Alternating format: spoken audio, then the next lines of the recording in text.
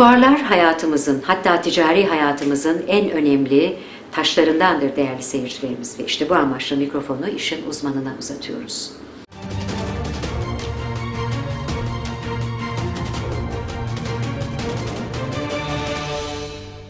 Merhaba değerli Fuar TV izleyicileri. Sizler için adım adım fuarları takip etmeye devam ediyoruz. Bugün durağımız İzmir ve 2018 Mermer Fuarı'ndayız. Fuar standlarımızdan Kemal Paşa Mermerciliğe konuk olduk ve yanımızda firma ortaklarımızdan Fuat Bey bulunmakta. Bakalım bizlere mermer sektörüyle alakalı neler aktaracak. Merhabalar Fuat Bey nasılsınız? Merhabalar, iyiyim. Teşekkür ediyorum. Sizler nasılsınız? Bizler de iyiyiz. Çok teşekkür ederiz. Hayırlı fuarlar bu arada. Teşekkür ederim, sağ olun. Biraz sizleri tanıyabilir miyiz? Fuat Solak ben. Ee, Kemal Paşa Mermer Madeni'nin e, sahiplerinden birisiyim. 2008 yılında Kemal Paşa Mermer'i kurduk. Ocakçıyız, üreticiyiz. Fabrika yap bölümümüz var. Ee, dış ticaret yapıyoruz aynı zamanda. Diğer ocaklardan blok alıp Çin'e satıyoruz. Çin'de ekibimiz var, ayrı bir şirketimiz var. Evet. Böyle. Hem yurt dışında hem de yurt içinde faal olarak Evet, devam ediyoruz. evet. Peki biraz mermerlerden bahsedelim o zaman. Kaç Bahsedelim. tane ocağımız var, neler çıkartıyoruz? Bizim şu anda faal olarak dört ocağımız var. Ee, Bursa ağırlıklı, genelde Bursa'dayız. Ee, Bursa 2 ve Balıkesir'de ocaklarımız var. Ee, bej ağırlıklı, gri ve bir de onyx'imiz var. Dört farklı taşımız var. Şu anda da yine fuarları sergiliyoruz aynı zamanda Tabii, bunları. tabii. Kaç çeşit var burada? Burada kendi taşlarımız olduğu gibi bir de tabii dışarıdan aldığımız, ticaretini yaptığımız taşlar da var. Herhalde bir 30'un üzerinde çeşit var şu Çeşitimiz anda. var. Evet. Peki nelere dikkat ediyoruz? Bunları çıkartırken, hizmet verirken.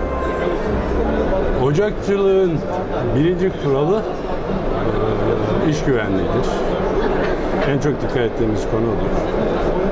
E, Ürünlerde kaliteyi ön plana çıkarmaya çalışıyoruz. Kaliteli işçilik yapmaya çalışıyoruz. E, İyi ekiplerle çalışıyoruz. E, Sektörde yapılabilecek tüm güvenlik önlemlerini birinci şart olarak alıyoruz. Daha sonra işleyişi onun üzerine inşa ediyoruz. Bunların hepsini topladığınız zaman başarı geliyor diyorsunuz. Peki sektördeki farkınızdan biraz bahseder olursak Sizler gibi birçok firma var bu hizmetleri sunan ya da sunduğunu iddia eden. Neden tercih edilmesi gereken bir firmasınız? Şimdi bunu tercih edenlere sorsanız daha iyi olacak aslında ama e, neden tercih ediliyoruz? İstikrarlı firmayız. Uzun yıllardır e, sektörün içindeyiz. E, ekiplerimiz kaliteli. E, ürünlerimiz de tabii doğal olarak kaliteyi en üstte tutmaya çalışıyoruz.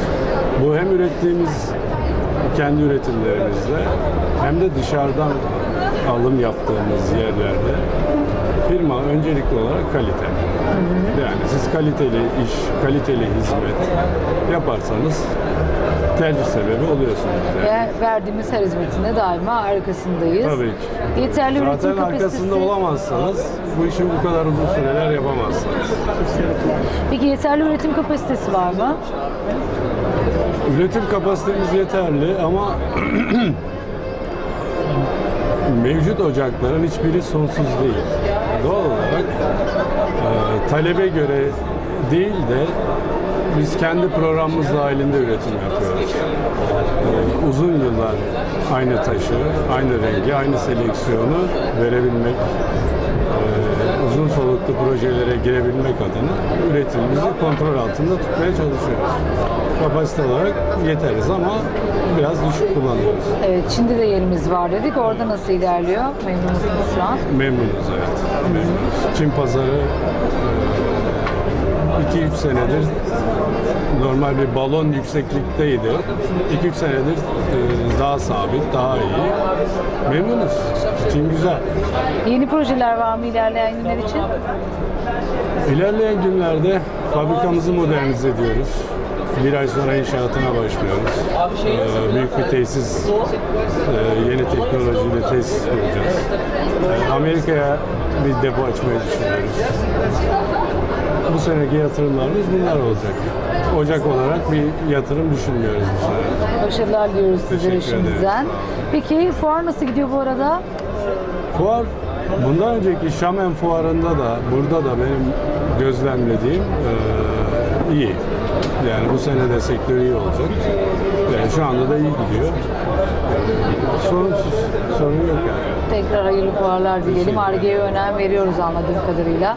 Yurt dışı fuarlarında da aktif olarak varız. Peki e, sektörle alakalı biraz izleyicilerimize önerileriniz var mıdır? Neler aktaracaksınız?